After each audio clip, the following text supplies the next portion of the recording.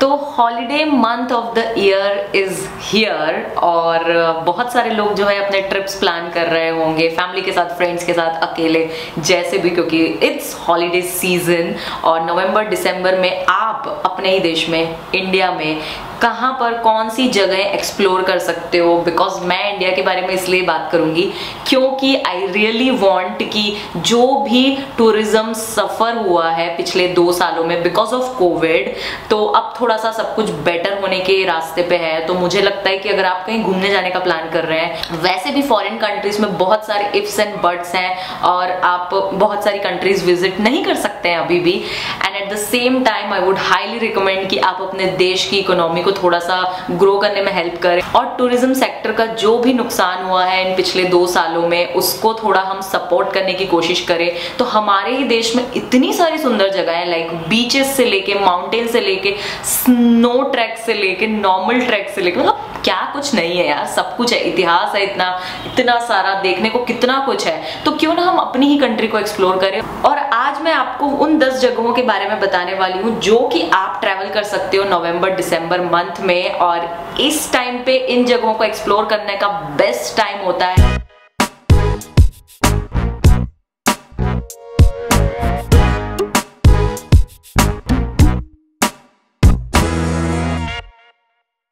नमस्ते and welcome और welcome back to my channel everybody मेरा नाम है Himani and I back with yet another video और आज के वीडियो में हम आपसे शेयर करने वाले 10 जगह ऐसी जो कि आप नवंबर दिसंबर मंथ में ट्रैवल कर सकते हैं. वेदर के अकॉर्डिंग भी बहुत सूटेबल है और इन जगहों को ट्रैवल करने का बेस्ट टाइम होता है. और इन जगहों को एक्सप्लोर करने का ये बेस्ट टाइम होता है. So let's get started let me take a moment and appreciate the lighting the natural lighting which is coming in my room uh, मैं हमेशा नेचुरल लाइट में ही शूट करती हूँ।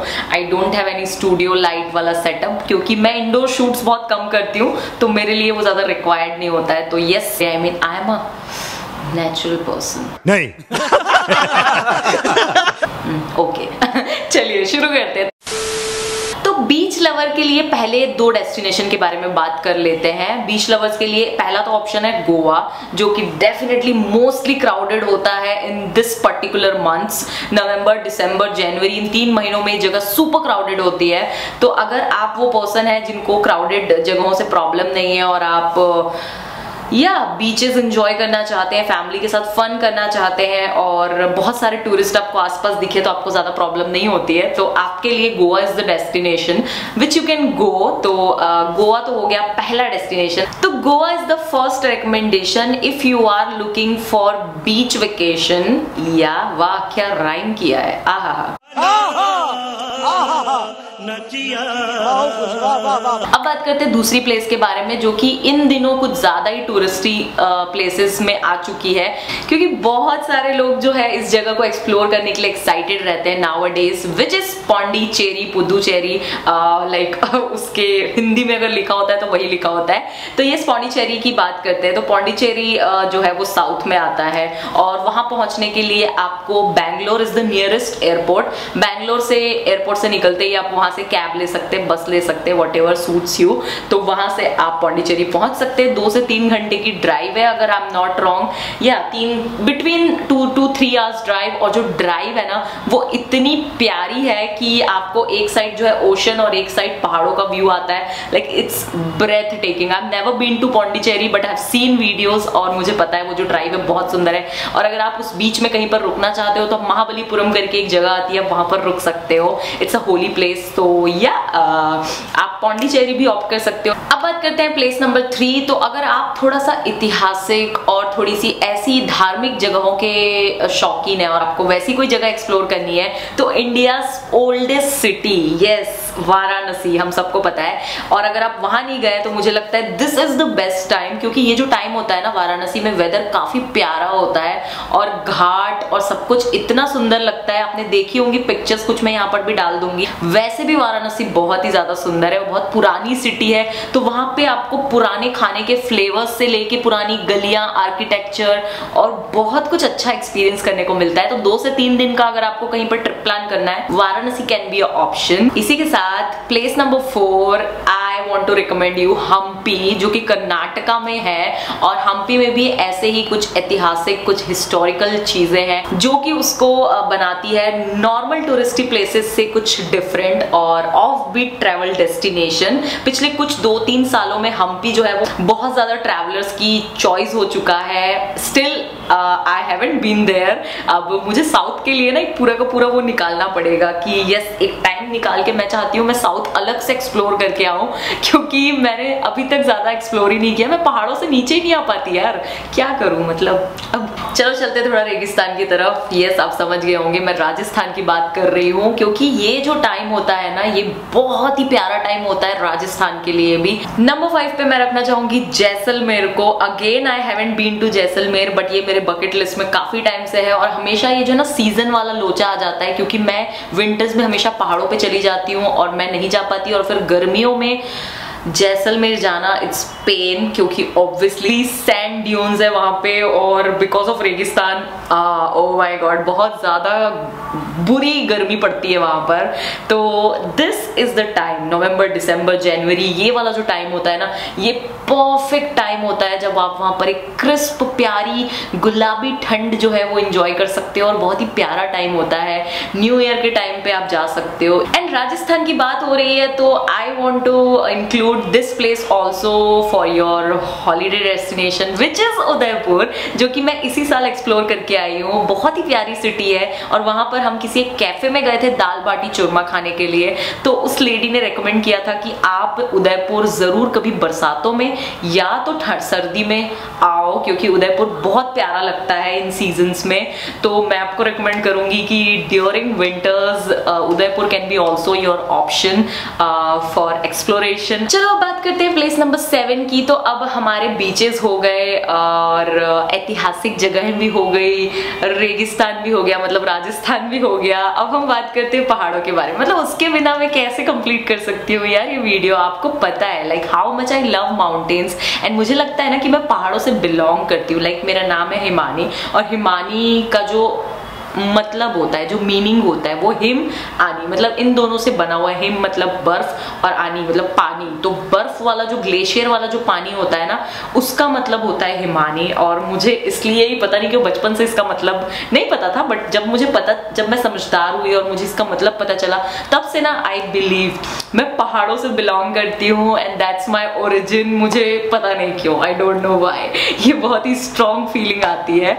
तो या दैट्स दैट अब बात कर करते प्लेस नंबर सेवन की तो जिसमें मैं रखना चाहती हूँ कल्पा को, जो कि आता है हिमाचल प्रदेश के किन्नौर डिस्ट्रिक्ट में। और अगर आपने मूवी देखी है हाईवे तो उसमें आपने देखा होगा कि वो रिकॉन्ग पीओ में काफ़ी थोड़ी शूट हुई है। और बहुत ही सुंदर, बहुत ही सुंदर प्यारा विलेज है कल्पा, जो कि रिकॉन्ग पीओ से थोड़ा ऊपर आता है। 15-16 किलोमीटर ऊपर है। और वहाँ पर आप, जो है, अपने विंटर्स के कुछ तीन चार दिन स्पेंड कर सकते हो। It's a beautiful village village बहुत ही सुंदर गाँव है छोटी छोटी गलियाँ हैं और बहुत ही सुंदर गाँव है। तो अगर आप एकदम शांति प्रिय इंसान है और आपको लगता है कि आपको पहाड़ों पे किसी ऐसे गाँव में जाकर कुछ दिन स्पेंड करने हैं और बाहर मस्त हल्की हल्की बर्फबारी हो रही हो, अगर आपका लग रहा तो वैसे कल्पा में most of the time winters में स्नोफॉल होता है और वो भी बड़ा स्लो मोशन स्नोफॉल होता है। तो अगर आप वो विटनेस करना चाहते हो ना तो आई वुड हाईली रिकमेंड कि आप कल्पा ज़रूर जाओ अब पहाड़ों की बात चल रही है तो I want to include in number eight Sikkim जो कि नॉर्थ ईस्ट में आता है और सिक्किम अगेन सिक्किम के बारे में मैं क्या बोलूँ? लाइक like मेरी लाइफ का पहला सोलो ट्रिप जो कि मैंने शुरू किया जब से अकेले घूमना थोड़ा तो दैट वॉज़ सिक्किम और सिक्किम इज़ द प्लेस जहाँ से मैंने अपने सोलो ट्रैवल शुरू किया था। तो सिक्किम uh, भी इस सीज़न के लिए परफेक्ट है if you are planning like आपको इस सीज़न में जाना चाहिए क्योंकि काफ़ी प्यारा, काफ़ी अच्छा ठंडा चिली वेदर होता है।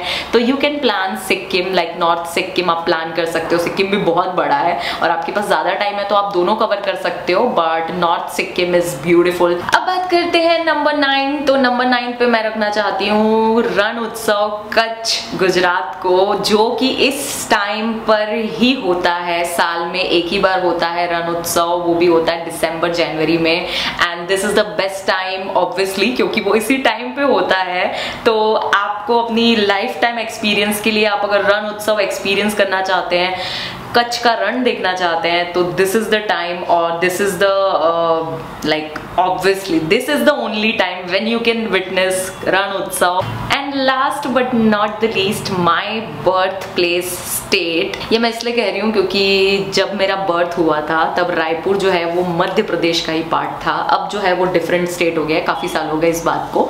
But that time it was part of Madhya Pradesh or Madhya Pradesh is the state which you can also travel to in this month, during this month, क्योंकि अगेन वेदर नाइस अच्छा होता है। और वहाँ पर कुछ नेशनल पार्क है like Kanha national park और Bandhavgarh national park and Pench national park तो टाइगर रिजर्व्स है। और आप वहाँ जाकर जो है वाइल्ड लाइफ के शौकीन हैं तो डेफिनेटली आप यहाँ जा सकते हैं। एट द सेम टाइम आप वाइल्ड लाइफ के शौकीन हैं तो there are a lot of national parks around India like Jim Corbett है उत्तराखंड में और रणथम्बोर है राजस्थान में और ऐसे हर स्टेट में कई सारे नेशनल पार्क है। और आप वाइल्ड लाइफ के शौकीन है तो आपके लिए ऑप्शन है बट मध्य प्रदेश मैंने इसलिए बोला क्योंकि दूर दूर से जब फॉरेन से भी लोग आते हैं तो वो कान्हा नेशनल पार्क आते हैं। It is one of the biggest national park in central India तो डेफिनेटली आपको ये चेक करना चाहिए। If you haven't been there और आप अगर सराउंडिंग स्टेट में रहते हो लाइक आप महाराष्ट्र या छत्तीसगढ़ या फिर उड़ीसा या आंध्रा इस तरफ़ रहते हो तो आपके लिए दिस विल बी नियरेस्ट तो yup these were my recommendation if you are planning your holiday during November December तो आप इन जगहों को चेकआउट कर सकते हैं। और कोई अगर आपको डिटेल जाननी है और आपको कुछ किसी पर्टिकुलर जगह के बारे में कुछ इन्फॉर्मेशन चाहिए तो मुझे कॉमेंट सेक्शन पे बताना या आप मुझे ईमेल भी लिख सकते हो wanderlust Himani at the rate Gmail dot com पे।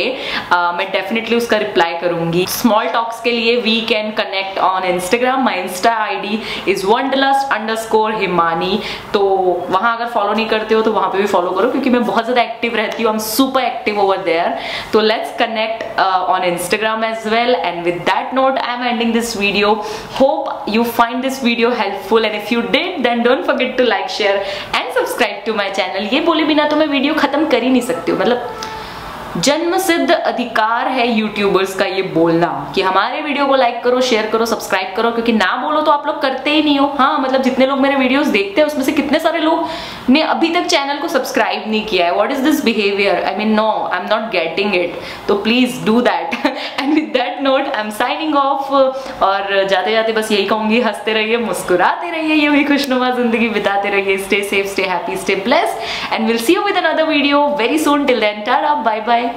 नमस्ते।